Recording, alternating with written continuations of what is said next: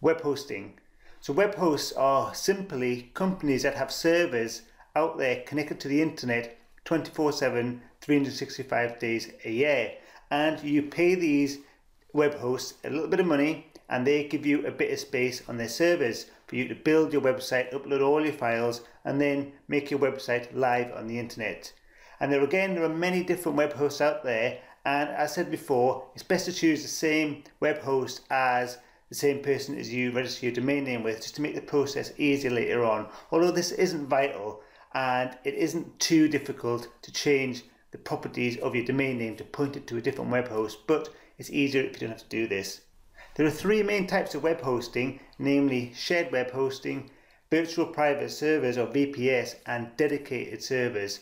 And if we're just starting out building our first website that's going to be small to medium size, we're good enough using shared web hosting, which is the cheapest option and it's the one you should go for.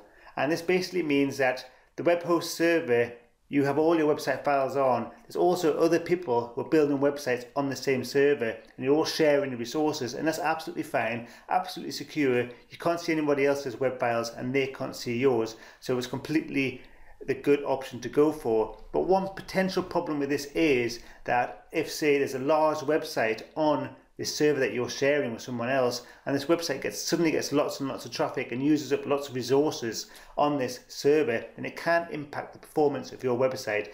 But this doesn't happen too often and as I said when we're starting out and even when the website grows a little bit shared web hosting is what you should go for